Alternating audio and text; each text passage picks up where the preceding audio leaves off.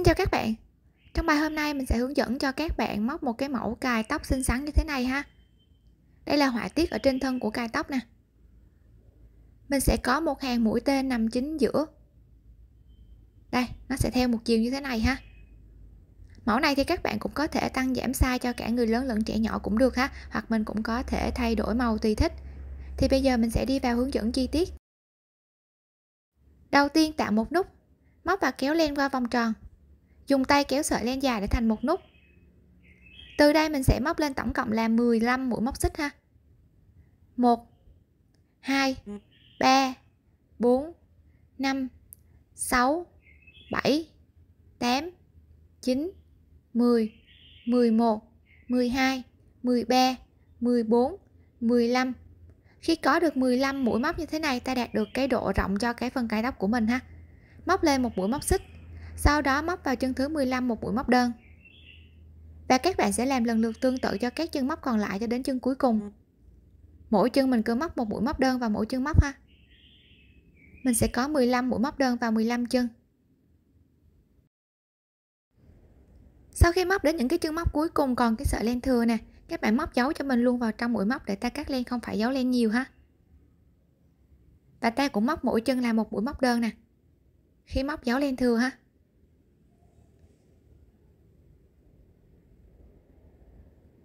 Chân cuối cùng một mũi móc đơn nè. Sau khi hoàn tất được các cái mũi móc đơn vào 15 chân, mình sẽ có 15 mũi móc đơn. Móc lên một mũi móc xích và quay ngược đầu móc lại. Thì lúc này cái sợi len thừa của mình nè, các bạn có thể cắt len đi và mình không cần phải giấu len nhiều nữa ha. Hàng đầu tiên hoàn tất có 15 mũi móc đơn tạo ra 15 chân cho hàng thứ hai. Hàng thứ hai chân đầu tiên móc vào luôn chân móc cho mình một mũi móc đơn từ chân móc thứ hai thì các bạn sẽ móc cho mình các cái mũi móc đơn nhưng mà móc vào cái đường nằm bên dưới của mỗi chân móc ha. Thì ta sẽ có cái đường nằm bên dưới như thế này. Các bạn móc cho mình 3 mũi móc đơn vào ba chân liên tiếp.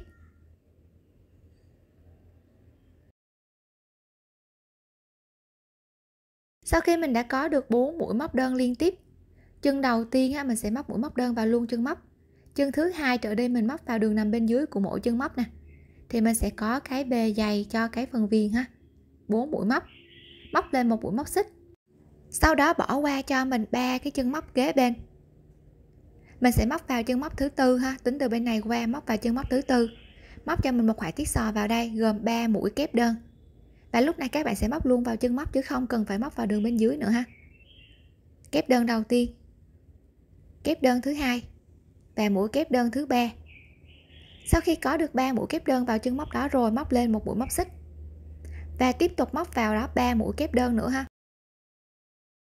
Ta có kép đơn thứ tư nè, mũi kép đơn thứ năm và mũi kép đơn thứ sáu. Như vậy là ta tạo ra được một họa tiết sò ha, gồm 6 mũi kép đơn và cách nhau là một mũi móc xích. Móc lên một mũi móc xích. Bây giờ mình sẽ móc ngược lại với vị trí bên này, tức là ở đây mình sẽ bỏ qua ba chân mình sẽ còn lại bốn chân móc. Thì lần lượt tương tự giống như cái bên này, mình móc ngược lại, thì các bạn sẽ móc cho mình ba cái chân móc liên tiếp vào cái đường nằm bên dưới ha. Một mũi nè. Tiếp tục mũi móc đơn thứ hai vào đường nằm bên dưới. Móc đơn thứ ba. Còn một mũi móc đơn cuối cùng, mình móc vào chân cuối cùng và móc luôn vào chân móc chứ không móc vào đường bên dưới ha. Như vậy là ta sẽ tạo ra được một hàng móc họa tiết sò mình sẽ gọi đây là hàng móc họa tiết sò ha. Đây là hàng móc thứ hai, là hàng số chẵn nè. Tiếp tục móc lên một mũi móc xích và quay ngược đầu móc lại. Đến hàng móc thứ ba là hàng móc số lẻ. Các bạn sẽ móc cho mình tương tự như hàng bên dưới, tức là chân đầu tiên móc luôn vào chân móc của mũi móc đơn. Từ chân móc thứ hai trở đi thì mình móc vào đường mầm bên dưới ha. Mỗi chân sẽ móc một mũi móc đơn. Mình có 3 chân móc thì mỗi chân móc một mũi móc đơn nè ta có 3 mũi móc đơn vào 3 chân, nằm ở bên dưới ha. Như vậy là ở đây mình cũng có được 4 mũi này tạo ra cái độ dày cho cái phần viền ha. Từ đây móc lên cho mình 6 mũi móc xích. 1 2 3 4 5 và 6 khi có được 6 mũi móc xích rồi, các bạn sẽ để ý cho mình ở cái hàng bên dưới. Đây là cái chân móc mà mình móc cái họa tiết sò nè thì ở phía dưới nó là cái chân móc mũi móc xích mà mình móc mũi móc đơn đó ha. Thì lúc này các bạn sẽ đâm kim ngược lại cho mình từ dưới lên trên, tức là vào cái chân của cái mũi móc xích mà mình móc mũi móc đơn đó. Sau đó mình đâm kim ngược lên phía trên vào chân móc mà mình móc họa tiết sò. Đây đây là chân móc mũi móc đơn mà mình móc họa tiết sò nè. Thì phía dưới nó sẽ là một cái chân của mũi móc xích. Mình sẽ đâm ngược lại từ dưới lên trên ha. Vào chân của mũi móc xích, sau đó mình đâm thẳng lên phía trên vào chân mình móc cái họa tiết sò. Móc vào đây một mũi dời. Từ đây móc lên cho mình 6 mũi móc xích. 1 2 3 4 5 6 sau đó mình sẽ di chuyển kim đến bốn cái chân của mũi móc đơn ở hàng viền nè. Mình sẽ móc tương tự ha. Ba cái chân đầu tiên sẽ là móc vào cái chân móc bên dưới. Và một cái chân móc cuối cùng móc luôn vào chân móc. Ta sẽ hoàn tất được hàng thứ ba. Thì đây sẽ là mặt phải của sản phẩm ha. Mặt phải sẽ là cái hàng móc có cái chữ V ngược nè, tức là cái dấu mũi tên như thế này. Tiếp tục móc lên một mũi móc xích và quay ngược đầu móc lại. Lúc này khi quay ngược đầu móc thì cái mặt của mình đang móc sẽ là cái mặt của hàng họa tiết sò. Thì các bạn sẽ móc cho mình một hàng họa tiết sò tương tự như vậy. Tức là bốn chân đầu tiên móc bốn mũi móc đơn nè. Lưu ý hai chân đầu tiên móc luôn vào chân móc, còn các chân còn lại thì mình móc vào đường bên dưới hoàn tất được cái hàng viền phía ngoài rồi thì bây giờ mình móc họa tiết sò. Móc lên một mũi móc xích. Sau đó mình đâm kim vào cái họa tiết sò ở phía dưới. Nó sẽ có cái khoảng trống của mũi móc xích ở đây. Các bạn sẽ móc cho mình một họa tiết sò tương tự như họa tiết sò bên dưới ha. Gồm 3 mũi kép đơn. Kép đơn thứ hai. Và mũi kép đơn thứ ba. Sau đó móc lên một mũi móc xích. Và tiếp tục móc 3 mũi kép đơn vào cùng cái khoảng đó nữa ta có kép đơn thứ tư nè. Kép đơn thứ năm và mũi kép đơn thứ sáu. Khi hoàn tất được họa tiết sò rồi tiếp tục móc lên một mũi móc xích. Sau đó cũng di chuyển kim đến bốn chân của bốn cái mũi à, đơn ở đây nè. Ba chân đầu tiên thì mỗi chân móc một mũi móc đơn vào đường nằm bên dưới. Và chân cuối cùng sẽ móc vào luôn chân móc một mũi móc đơn. Như vậy là ta sẽ hoàn tất được hàng họa tiết sò ha tiếp tục móc lên một mũi móc xích và quay ngược đầu móc lại. Lúc này khi quay ngược đầu móc lại thì cái mặt của mình đang móc sẽ là cái mặt mà mình tạo cái mũi tên ở đây nè. Thì các bạn sẽ móc cho mình một hàng tương tự như vậy ha. Ở các cái chân đầu tiên thì mình sẽ làm tương tự như các hàng bên dưới. Móc 4 mũi móc đơn. Hoàn tất được 4 mũi móc đơn rồi, tiếp tục móc lên 6 mũi móc xích để mình tạo cái họa tiết ha. 1 2 3 4 5 và 6 đây sẽ là cái họa tiết so sát với cái hàng mà mình đang móc nè. Thì các bạn sẽ không để ý đến cái hàng họa tiết so này, mà mình để ý đến hàng họa tiết so phía dưới. Ở đây thì mình sẽ có cái khoảng trống của, cái khoảng trống xích ở đây. Và cái chân móc mà mình móc cái họa tiết so đó đây, thì lúc này các bạn sẽ đâm kim ngược lại vào cái chân móc mà mình móc cái họa tiết sò đó. Sau đó đâm kim ngược lên cái khoảng trống xích ở đây. Móc vào đây cho mình một mũi dời.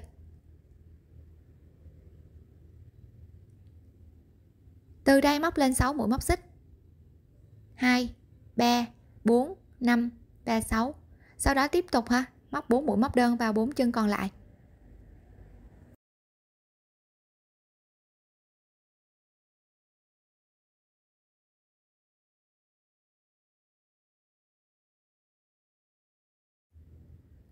Ta sẽ tạo ra được hàng họa tiết ờ, mũi tên như thế này. Nó sẽ song song với hàng phía dưới ha. Móc lên một mũi móc xích và quay ngược đầu móc lại. Tiếp tục ở hàng này là hàng số chẵn thì mình sẽ móc một hàng họa tiết sò tương tự như hàng bên dưới. Móc 4 mũi móc đơn nè.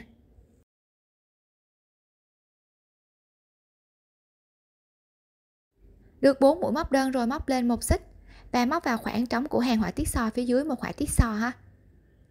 3 mũi kép đơn móc lên một xích. Và tiếp tục 3 mũi kép đơn nữa.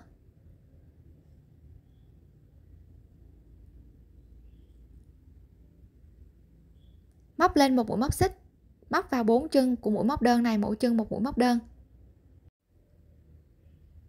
Ta sẽ hoàn tất được cái hàng họa tiết sò tiếp theo ha. Các hàng họa tiết sò của mình nó sẽ nằm song song với nhau như thế này. Tiếp tục móc lên một mũi móc xích và quay ngược đầu móc thì lúc này cái mặt mà mình đang móc sẽ là mặt tạo cái họa tiết mũi tên. Thì các bạn sẽ móc cho mình một hàng tương tự như vậy. Móc vào bốn chân đầu tiên, mỗi chân một mũi móc đơn. Lưu ý cho tất cả các cái hàng móc ha, chân đầu tiên mình sẽ móc luôn vào chân móc. Sau khi có được 4 mũi móc đơn rồi thì móc lên cho mình 6 mũi móc xích. 1 2 3 4 5 và 6 tương tự như cái hàng bên dưới thì mình cũng không có để ý đến cái hàng họa tiết sò sát nó, mà chỉ để ý cái hàng họa tiết sò ở phía dưới. Mình cũng có cái khoảng trống xích và cái chân của mũi móc mà mình móc cái họa tiết sò đó. Thì mình sẽ đâm kim ngược lại ha. Vào cái chân của cái mũi móc đơn mà mình móc cái họa tiết sò. Đâm ngược lên trên cái khoảng trống xích, móc vào một mũi dời. Móc lên 6 mũi móc xích. Sau đó tiếp tục móc 4 mũi móc đơn vào bốn chân ha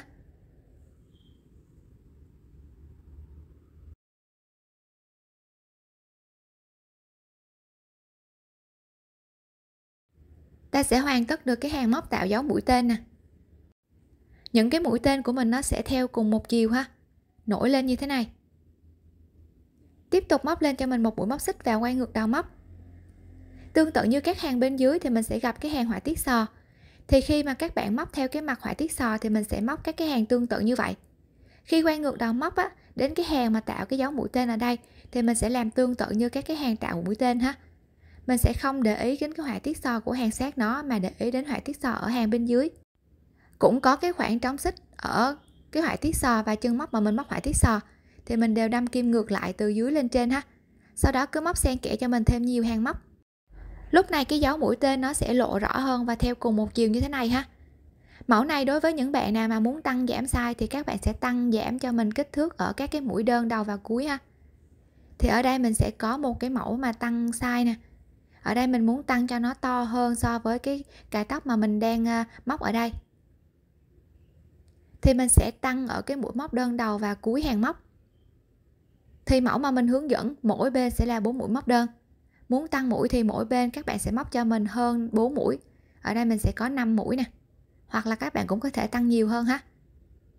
Còn cái họa tiết tạo mũi tên chính giữa thì mình sẽ móc tương tự như cái mà mình vừa hướng dẫn.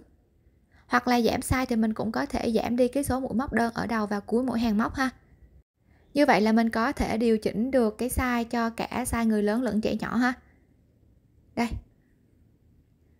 các bạn sẽ móc cho mình thêm nhiều hàng móc xen kẽ như vậy cho đến khi mình gặp đôi cái phần à, cài tóc lại thì nó sẽ tạo ra được một cái độ rộng bằng so với cái vòng đầu của mình à, cần móc ha. Thì kích thước vòng đầu mình có để ở phần mô tả. Các bạn có thể nhấp vào phần mô tả để xác định được kích thước của vòng đầu. Để kết thúc được cái phần cài tóc này, các bạn sắp xếp cho mình cái hàng à, gần cuối cùng mình sẽ là một hàng tạo chữ V như thế này ha. Tạo cái dấu mũi tên nè. Sau đó tiếp tục hàng kế tiếp mình thể chốt hàng. Móc lên một xích và quay ngược đầu móc ở bốn chân đầu tiên thì sẽ làm tương tự giống như các cái hàng bên dưới ha. Chân đầu tiên móc vào luôn chân móc. Các chân còn lại, mỗi chân móc một mũi móc đơn vào đường nằm bên dưới. Mình có 3 mũi móc đơn vào ba chân nằm bên dưới ha. Để chốt lại cái hàng móc này này móc lên 3 mũi móc xích. Đâm kim vào cái khoảng trống của cái họa tiết sò phía dưới, móc vào đó một mũi móc đơn và tiếp tục móc ngược lại. Móc 3 mũi móc xích.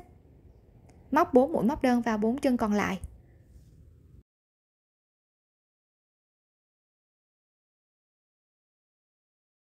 Chân cuối cùng sẽ móc luôn vào chân móc ha.